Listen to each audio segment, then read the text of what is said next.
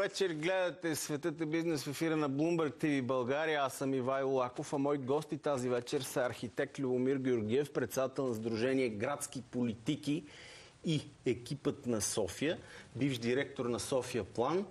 Тук също е и Жоро Пенчев, IT експерт, член на екипът на София. Ще коментираме идеите им за развитието на столицата. Здравейте и добре сте дошли. Благодаря ви, че сте тук. Здравейте. А, да почнем от там. Първо, това екипът на София е НПО. Не е партия и няма да ставате партия. Да, точно така. Няма да ставаме партия. Смятаме, че няма да помогне още една партия в цялото, цялото ни съзвездие и политически спектър. Но смятаме, че трябва да се работи с партиите за това след една година, когато има местни избори в София, да постигнем коалиция. Коалиция между партии, граждански издружения. И как си и... представяте тази работа? Съвсем възможно си я представяме. Като гледам как тече коалиционната работа в парламента, същото ще е и в а... ами не, Общинския няма... съвет. То ще е същото, ако не се подготвим. Това ни е апела. Ако оставим нещата на самотек, ще имаме 100% от същото.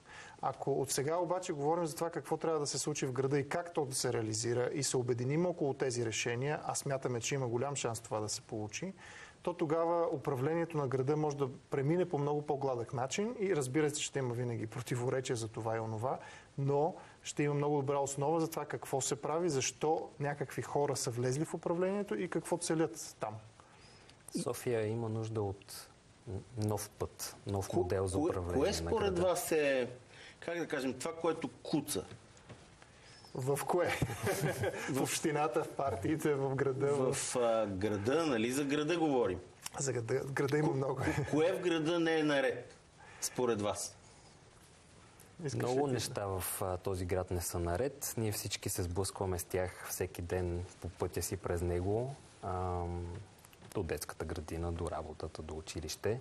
А... И понеже нямаме друг избор, ни се налага да свикваме и спираме да му обръщаме внимание.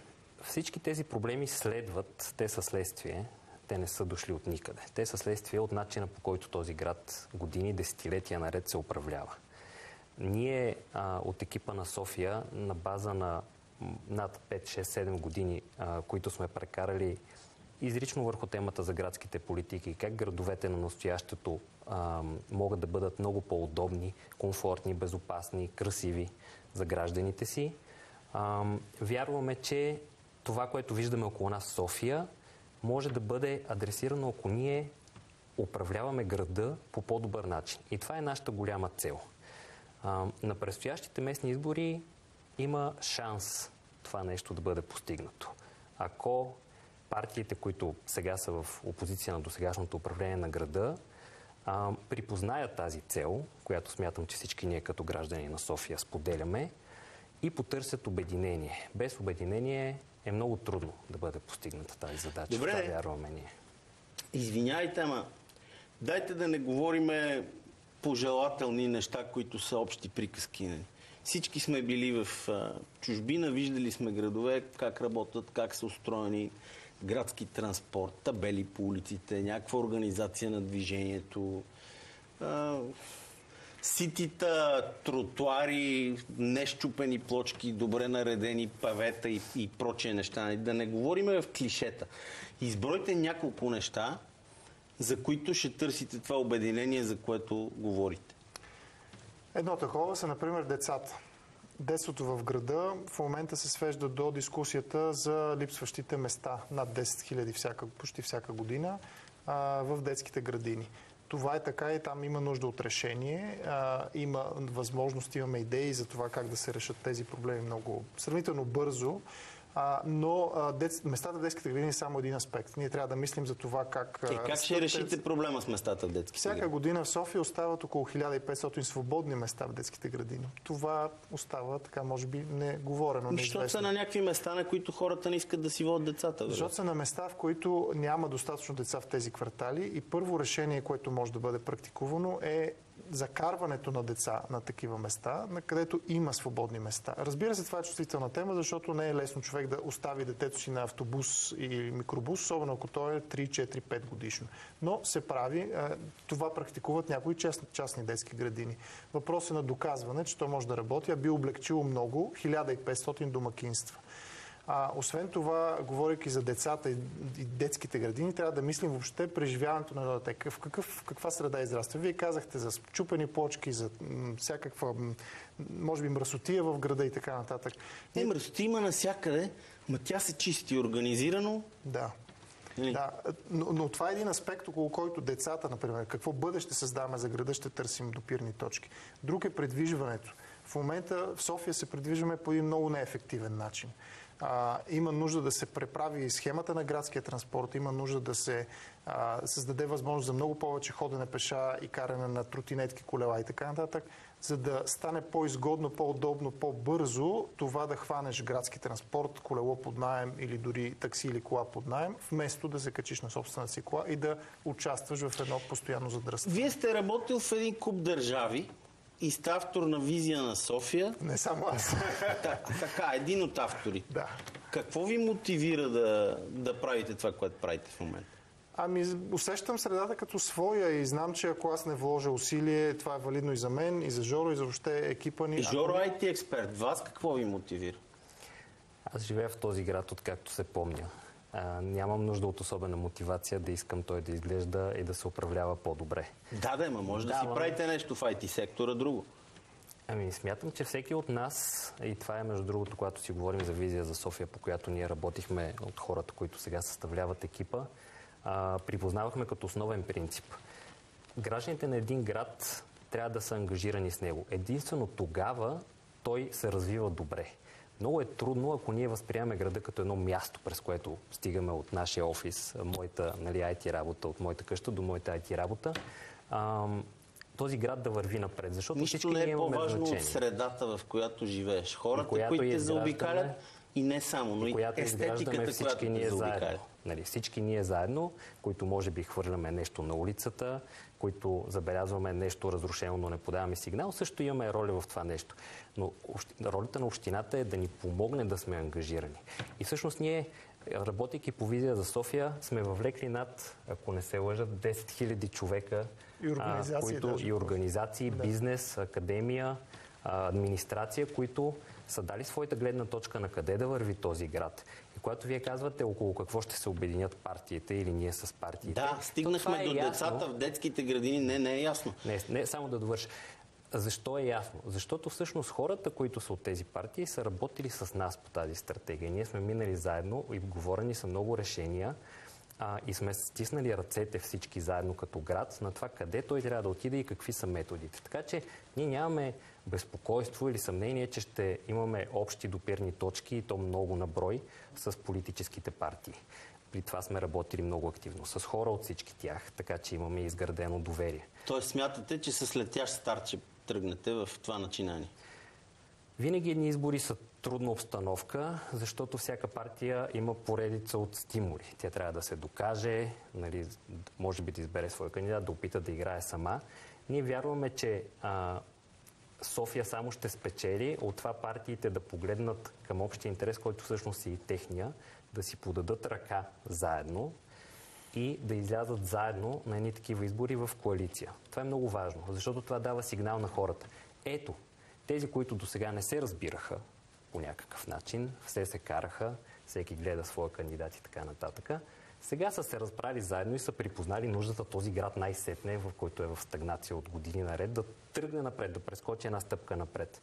И ако ние оправим мястото, където живеем, с което сме неразривно свързани, започва да става много по-лесно този тип обединение да се пренася към това на къде ние като общество въобще да Разбира се, че е така, но дайте ми, моля ви, още детайли. Стигнахме до децата и детските градини. Какво друго? Придвижването споменахме, околната страна, околната Промяна в начина по който функционира градския транспорт. Точно Про- така. Промяна на маршрути ли визирате или нещо друго? И, и промяна на маршрути. Има квартали в София, които по никакъв начин не са покрити от градския транспорт, така наречените нови, южни, престижни, перспективни квартали. Необходимо е също да се преосмисли частотата на предвиждане на превозните средства, дали на, по една линия се пуска къс автобус, дълъг автобус, да се направят връзките, дори разстоянията между спирките да са по-малко и прекачванията да са по-кратки.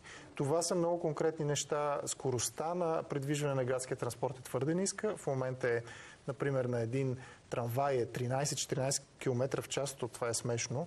А, е, метрото най-бързо се движи 35 горе-долу км в час, а, но това не може да е скорост, която ти конкурираш колата, която в час пик, между другото, също се движи с 5, 6, 7 км. Знаете ли, аз като потребител, който не съм във вашата сфера, разбира се, но аз съм потребител на този град, изнервят ме страшно много дупките по околовръстното шосе околовръстното между Люлин в една част, дет не е ремонтирана и, и, и горна баня, да. е някаква трагедия. Пълен мрак. Да. Изнервяме липсата на табели.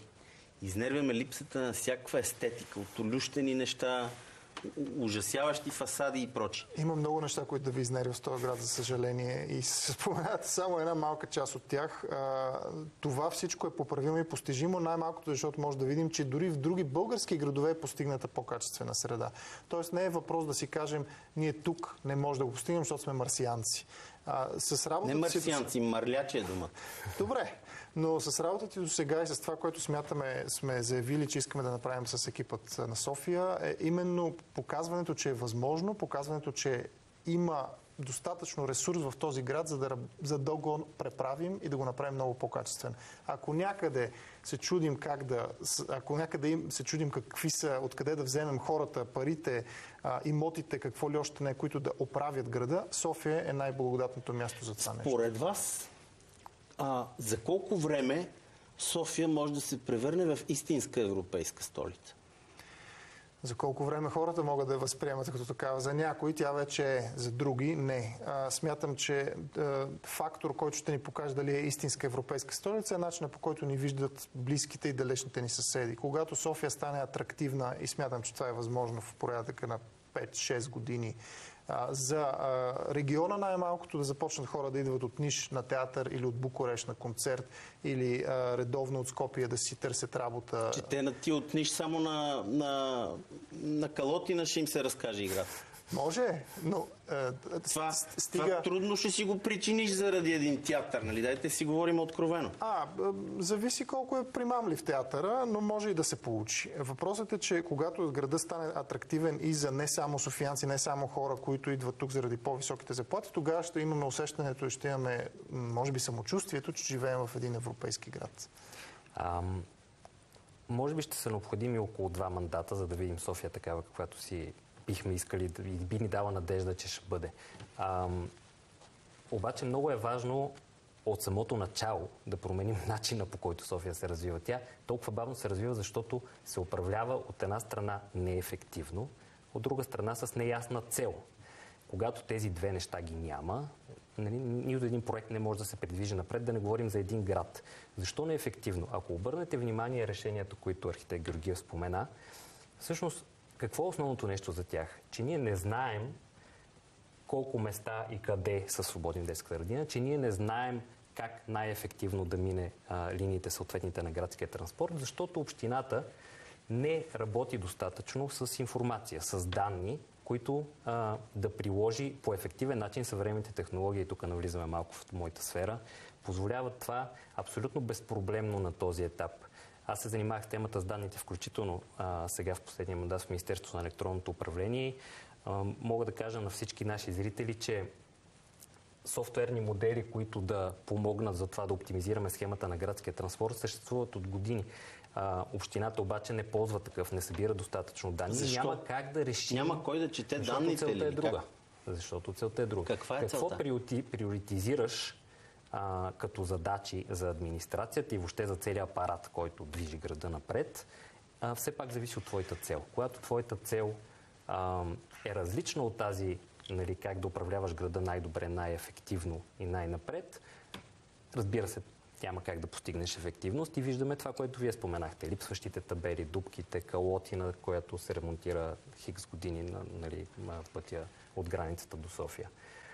Много е важно да в, в, в управлението на общината да са хора, които разбират съдържателно градските политики, които знаят какви са възможностите на съвремието, които са готови да ги приложат в една обща визия, обща цел, по която всички граждани на София сме обединени. И ние, работейки по това над 5 години в Визия за София и последващите формати, вярваме, че имаме много добро разбиране за това нещо и това е което искаме да комуникираме и с политическите субекти. Аз съм убеден, че същите проблеми ги е имало и другаде. Вие можете ли да дърпате ноу-хау от други градове? Може и сме го правили. Не само сме дърпали, ами сме и давали пример на други градове за това как се работи, например, по визия София, София, Попони. Въобще цялата идея за екипът на София е заразяваща идея и стимулираща други, други градове, дори в България и в региона. А, обаче, когато говорим за примери от други градове, трябва веднага да ги пречупваме през контекста. Не е достатъчно просто да кажеш, ето там ремонтираха така, или ето там пуснаха такъв трамвай, или ето там така изглежда детската градина. Трябва да знаеш тук с местните Понякога ресурси. нещата просто опират до начина по който редиш павета, нали? да, но жълти павета има само в София. И оттам нататък трябва да имаш а, много добра е, система и тук има само в София има закон за обществените поръчки, т.е. България, който действа по този начин. Съответно ти трябва да разбираш местния контекст и да знаеш какво да правиш с в местната ситуация, в ограниченията и рамките и инструментите, които имаш тук на място. Това е, според мен, част от силата, която имаме ние като екип, защото пет години, повтаряме, сме работили а, в а, общински теми в това как да се развива този град. Според вас, например, синята зона как се управлява? Адекватно ами не, ли е това? Не, не е адекватно. А, няколко причини за това. В момента запълняемостта и на синя и на зелена зона е много висока, над 90%, даже в някои случаи 96% което значи, че зоната е изключително достъпна, лесна, хората дори не се замислят дали да отидат да, да платят за паркиране, което я обезмисля до някъде. Зоната има смисъл, когато тя може да предложи свободни места. В момента... Тоест казвате, че тя трябва да стане по-скъпа, което няма се хареса на повечето хора, които ни гледат. Абсолютно е така. Едно добро управление не е свързано само с това да се минава само по най-малкото съпротивление и да се прави само това, което хората веднага биха приели. Необходимо е да се предприемат неминуемо и непопулярни мерки, защото едно управление трябва да мисли не само за сега, как да погаси пожара, а за утре нещата, които са, парите ни, които се инвестират, те трябва да са така инвестирани, че след 5 или 10 години да се обърнем назад и си кажем, да, това беше добро решение. Не беше популярно, обаче изведе града на едно много по-добро състояние, отколкото е сега. Но ако позволите, ам, аз, например, ако паркирам в сина зона в центъра, защото имам работа там, а, и колкото и да е скъпо, ще трябва да го платя, защото нямам друг избор. А, все пак задачата на общината и въобще на града е да решим моята задача да се придвижа максимално бързо, удобно на време и комфортно от една точка до друга точка. Ако общината позволяваше на мен като гражданин по-добри начини за придвижване и аз можех да си позволя да не ползвам колата и да не се налага да плащам синята зона, това би било добре нали, за двете страни. А, това е което липсва всъщност тук. Осмислене на действията в една система, в цялост. В момента се действа на парче, това го знаем отвътре, виждали сме го. Действа се по някой път в противоположни посоки. Това, за което ние сме работили толкова години и ще продължим с екипът на София, е именно синхронизираните действия, интегрираните действия, неща, които са осмислени така, че едно плюс едно да направи три и едно действие да ти отключи повече решения, отколкото да решиш само един проблем, свързан с това кръстовище или това парко място или Ти решаваш проблема с това кръстовище и това създава проблем на следващото кръстовище. Именно, затова нещата работят в система. И работят не само системата на транспорта, ами работят системата Дигаш и на... цената на синята зона, ама нямаш альтернатива с градския транспорт. Точно в центъра имаш. Добре, как ще направиш цялата тази система да действа в синхрон? Как се случва това нещо? С въвличането на експертиза, с въвличането на знание, както каза Жоро, с въвличането на данни. Това се прави и в България сме го правили, и се прави отчасти, и на други места се прави. Пак казвам, не изстрелваме нещо, ракета към Луната. И не е rocket science, казвам. Ми не, никак. Това са неща, които се практикуват. А защо сме... сега не е направено според вас? Връщаме се на желанието и за разбирането и на целите на управлението. Те са по-скоро да, да управляваме, но с каква цел?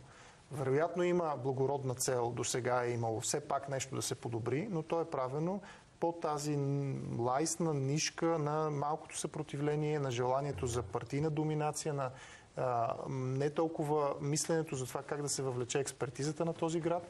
Това, което направихме с визия за София и продължаваме да правим с екипът на София сега, е да въвличаме експерти от различни сфери, които влагат труда си и знанието си за бъдещето на този град. Това общината до сега не е правила.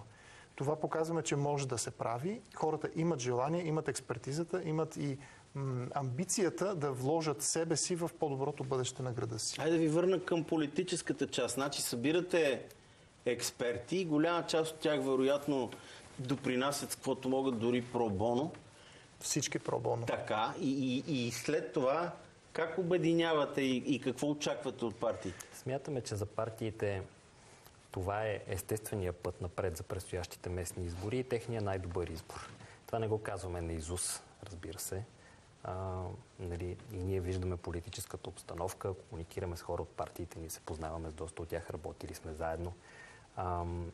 И смятаме, че е изцяло в интереса на партиите всъщност те да излязат с един обединен фронт. Ако този обединен фронт е подплатен с много дълбоко разбиране за града и с много ясен план какво се прави от ден едно, какви са първите, вторите, третите, четвъртите, петите стъпки, като реформи, като изменения в актове, като политики, като а, конкретни мерки, които да се започнат, като процедури, като проекти, които да се пуснат и така нататък, това дава един, наистина, вие го казахте, летящ старт.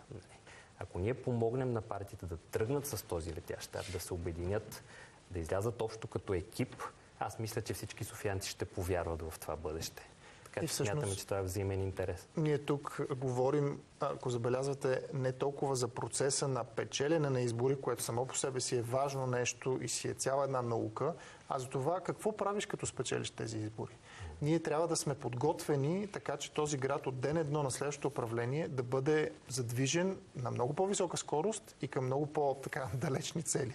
А, това е ценността, която ние даваме а, като а, ресурс в една такава коалиция. Нашето знание, нашия капацитет и възможността да работим с различни заинтересовани страни. Връщам се на тези 10 000 организации хора. Всички партии в Общинския съвет, независимо от коя страна сме работили с тях, за да покажем, че може да се работи заедно. И това не е химера, това е практика. Важното е да си повярваме, че от нас зависи и можем да го постигнем. Като ви слушам, върнах лентата малко назад и се замислих, например, за цената на билета за градския транспорт. Сигурно е една от най-низките в цяла Европа, може и най-низката да е. Да. Не знам. А, за да имаш хубав и качествен градски транспорт, и това струва пари. Къде е баланса според вас между някои социални функции, които има градското управление също и економическия стандарт и качество? Балансът е в това да можеш... И в момента градският транспорт бива дотиран. Предполагам, че цената трябва да стане в пъти по-висока, за да се самоиздържа. Да, на лев и 60 няма как да не е дотиран. Точно така, да. Общината трябва да има своите социални функции. Най-малкото, за да създава, ако хванем по-младите, учениците, да създава навици за това да се придвижва човек с градски транспорт това, което е интересното е във всички транспортни проучвания показва, че това, което е по-важно за масата хора, сигурно винаги има изключения, е не цената на билета, а времето, което човек прекарва пътувайки. Всъщност времето е най-ценното. И за един човек е най-важно да може да стигне бързо от А до Б и да може да си свърши работата и да знае после как да се предвижи от Б до С. Така че ако общината успее да предложи начин по който това предвиждане да става максимално бързо и максимално безпрепятствено, то тогава цената ще е втори аспект. Добре, хората. вие сте архитект, няма време. Съжалявам, че ви прекъсвам, но се, можем да си говорим с часове на тая тема. Един от големите Може. проблеми, който не засегнахме е презастрояване. Има цели квартали, в които нали, хората си гледат балкон в балкона и прозорец в прозорец. Така е. Няма зелени площи, едно да. дърво няма, някъде си разходиш кучето. Да. Какво правим? За тези квартали, които вече са построени, това значи да се намеси там. Предлагали сме решение за квартали като Манастирски ливади, изток и запад и това значи да се работи с съществуващите малко наброй публични пространства, което ще рече улиците. Много по-добро регулиране на улиците, много по-добре добра среда на тези улици. Ням, не може да се разрушават сгради. Но това е резултат от един много по-назад започнал процес, свързан с общият устройствен план. За да няма в, в бъдеще да продължим с тази практика, трябва да променим този план. Този план в момента позволява София да има още жилища, да се построя жилища за над 1 милион души. Това не знам защо трябва да го искаме. По-скоро не бива да го искаме. София в момента е милион и половина, според едните данни. Да. И други данни, дете се появиха малко по-късно, милион 250 хиляди. Тия Го- 200 хиляди къде изчезнаха, не знам.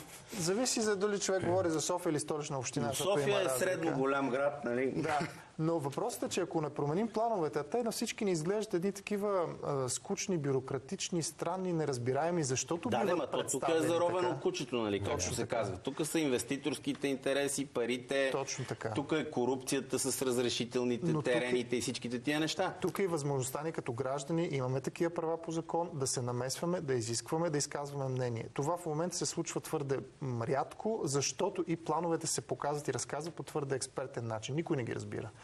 Важно е, за да променим застрояването, за да спрем презастрояването, да променим тези планове. То ефектът от промяната няма да е за 3 години. Той ще е след 5, след 10 години. Това са едни много бавни процеси с много голяма латентност, но ако не го направим сега, ще продължим да виждаме още десетки такива квартали. Жоро, кажете на финал кога София ще стане дигитален град. А, София, между другото, ам, все пак са сравнително бързи темпове се дигитализира. Това, Това е е резултат главно от частна инициатива, тъй като тук е съсредоточен, вие много добре знаете, предприемаческия потенциал и въобще цялата тази екосистема на страната, което е чудесно. Ам, много хубави решения всъщност се създават в София и ако те ги виждаме в публичната сфера приложени с много по-голяма скорост, което отново казвам е изцяло въпрос на политическа воля и желание, ние ще видим изключително а, бързи темпове в подобряване на начина по който общината ни предлага услуги, по който планира, по който е прозрачна. Това е много важно да го кажем, защото Да. е, имаме плана и след това имаме, както вие казахте, голям поредица хартиен процес от разрешителни стъпки и така нататък, всяко от които е възможност нещо да се промени, дори от иначе несъвършения план. А, така че Дигитална София носи много ползи на гражданите. Като разбира се, тя не е панацея. Ние може да говорим много на тази тема, къде са плюсовете, минусите, рисковете и така нататък. А, затова се връщаме на темата за града като система. Дигитализацията е инструмент, който трябва да обслужи конкретна цел. Как искаме да изглежда този град и как ще го постигнем най-добре, най-ефективно, най-ефтино, ако щете, за всички и най-качествено. Екипът на София, гости в студиото на Свете Бизнес. Това беше всичко от мен за тази вечер. Останете с програмата на Bloomberg TV България.